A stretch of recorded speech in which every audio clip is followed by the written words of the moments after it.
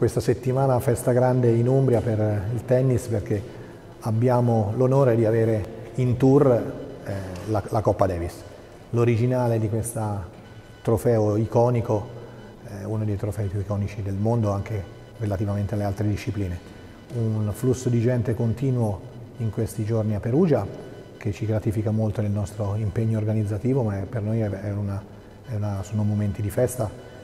che eh, diciamo così, risentono moltissimo del boom che sta vivendo il tennis in questo momento e dimostrano l'entusiasmo che la gente riversa nei confronti del nostro sport, giovani e meno giovani, perché abbiamo di tutte le tipologie come visitatori.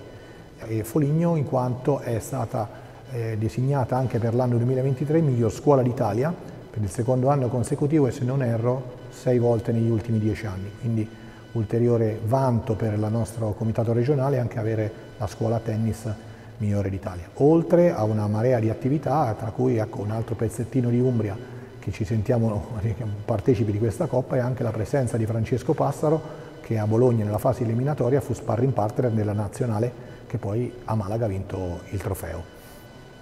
Quindi per noi ecco, un momento di grandissima soddisfazione, i nostri circoli ci riferiscono di un momento molto felice anche a livello di iscrizioni di tesseramenti, soprattutto da parte di giovani, quindi quello che viene chiamato adesso dalla stampa effetto Sinner si sta facendo sentire tangibilmente nelle nostre attività.